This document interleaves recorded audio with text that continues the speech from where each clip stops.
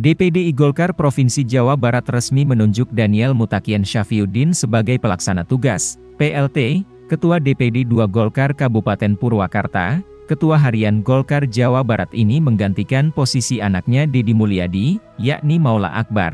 Pantauan tribunjabar.id di kantor DPD 2 Golkar Purwakarta pada Jumat, 12 Mei 2023, sekitar pukul 21.45 WIB. Terlihat sejumlah petinggi Golkar Jabar mengunjungi Sekretariat Golkar Purwakarta di Jalan Veteran, Kelurahan Ciseuru, Kecamatan Kabupaten Purwakarta. Di antaranya adalah Ketua Bapilu Golkar Jabar, Rahmat Sule, yang disusul kemudian oleh Ketua Harian DPD Partai Golkar Jawa Barat, Daniel Mutakian Syafiuddin, yang datang bersama Bupati Purwakarta.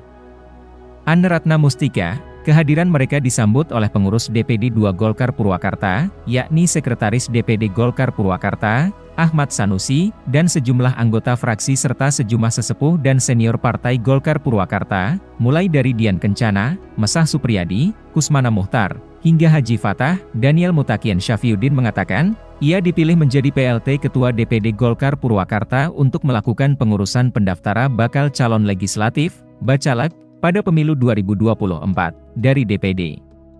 Golkar Provinsi Jawa Barat sudah mengambil keputusan, kami memberikan jabatan PLT kepada DPD Golkar Purwakarta, dan saya sebagai Ketua Harian Golkar Jawa Barat ditugaskan menjadi PLT Ketua Golkar Purwakarta untuk menjalankan proses organisasi agar bisa mendaftarkan caleg di konstentasi pemilu 2024.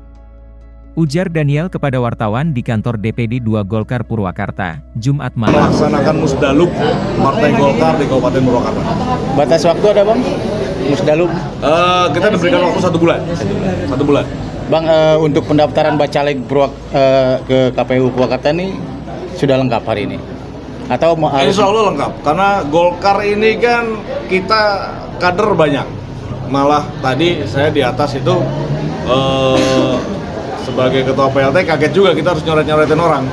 Ternyata dengan kondisi seperti ini ini sangat excited bahwa kader Golkar Purwakarta tidak terpengaruh dengan isu apa pun bahwa kader kader Partai Golkar di Kabupaten Purwakarta ya dengan uh, apa namanya sistem yang berjalan ya kita sudah siap mencalonkan kader-kader terbaik sebanyak 50 orang di DPRD di KPUD Kabupaten Purwakarta. Sejauh ini ada berapa banyak uh, bacalek yang mundur atau dicoret uh, untuk kontestasi 2024 ini? Oh saya tidak melakukan pencoretan atau mundur karena sampai saat ini uh, tadi sudah lengkap sekitar 50 orang. Informasinya ada 25 bacalek atau kader yang mundur?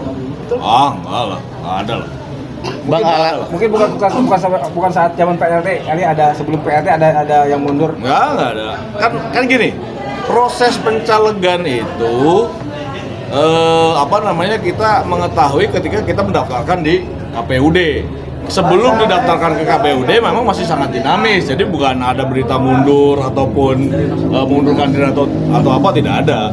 Bahwa tidak ada kader Golkar insya Allah di Kabupaten Purwakarta solid. Semuanya siap memenangkan Golkar di Kabupaten Purwakarta. Kita tidak ada mencoret tidak ada kader yang mundur. Pokoknya besok insya Allah kita jam 2 mendaftarkan kader-kader terbaik kita. Lengkap 50 orang.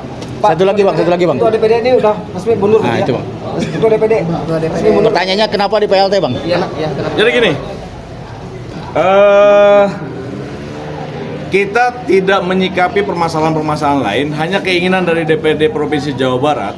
Kita tidak ingin kehilangan momentum mengantarkan kader-kader terbaik Partai Golkar Kabupaten Purwakarta mengikuti kontestasi di pemilu legislatif 2024 yang akan datang. Jadi uh, apa namanya dinamika-dinamika yang terjadi di Purwakarta ya biarkan itu menjadi dinamika. Tapi kader-kader terbaik Partai Golkar Kabupaten Purwakarta ini harus terselamatkan. Bukan terselamatkan dalam arti kata ya memang mereka memiliki, memiliki hak untuk ikut berkontestasi di pemilu legislatif 2024 ya. Bang mungkin bisa diperjelas mungkin ya, pertunjuk apa ditunjuknya Bang Daniel sebagai PLT itu karena Apakah mundurnya ketua, ketua yang sebelumnya mundur atau gimana? Ketua yang sebelumnya mundur. Ya. ya. Itu tadi saya saya sampaikan bahwa kita menjalankan eh, agenda-agenda uh, organisasi menjelang pemilu legislatif. Karena ada beberapa catatan kenapa uh, Kabupaten Purwakarta dikeluarkan surat PLT. Yang pertama, pada proses pencalegan yang kemarin di PO kita itu ada tim sinkronisasi. dan itu tidak pernah dijalankan eh, pada saat kepemimpinan sebelumnya, sebelum dikeluarkannya PLT. Tidak dilaksanakan tim sinkronisasi dan beberapa hal-hal lain yang memang